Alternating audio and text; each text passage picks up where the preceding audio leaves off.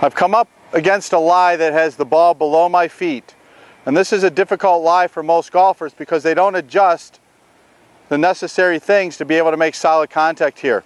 What I've got to do is I've got to make sure that I get down to the golf ball and stay down to the golf ball when I hit this shot.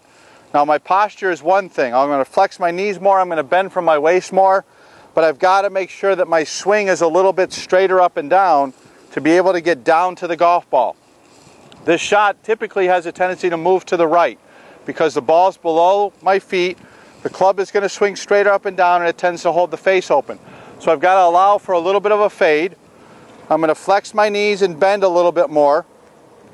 I'm going to swing the club straighter up and down.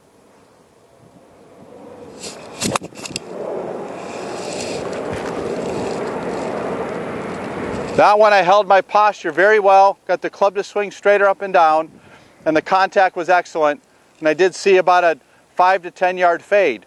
So when you have this shot where the ball's below your feet, go through the checklist. Get your posture better, bend, flex from the waist and the knees, swing the club straighter up and down, allow for a little bit of fade, and you'll have a good shot off of a ball that's below your feet.